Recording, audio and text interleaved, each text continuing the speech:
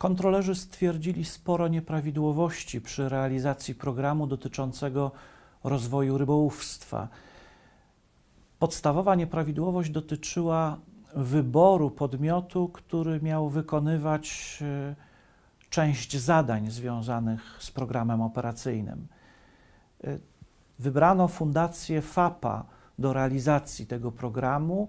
Ta fundacja dostała w formie dotacji pieniądze 750 tysięcy, jednak stwierdziliśmy w trakcie kontroli, że wybór nastąpił z naruszeniem mm, zasady wyboru najkorzystniejszej oferty.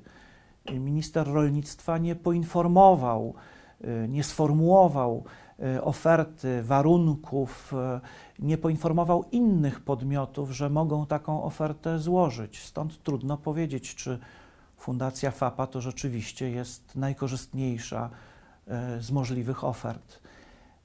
Fundacja dostała 750 tysięcy złotych.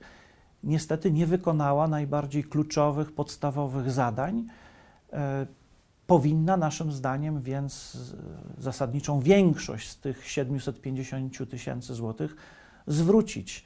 Niestety zwróciła tylko 50 tysięcy złotych. W trakcie kontroli stwierdziliśmy też, że źle dokumentowano mm, czas pracy, zadania wykonane przez pracowników ministerstwa. Mm, wydano w ten sposób 3 e, miliony złotych, niedokładnie dokumentując, co każdy z wykonawców, z pracowników robił. E, mogą być e, trudności ze zwrotem tych pieniędzy przez Unię Europejską.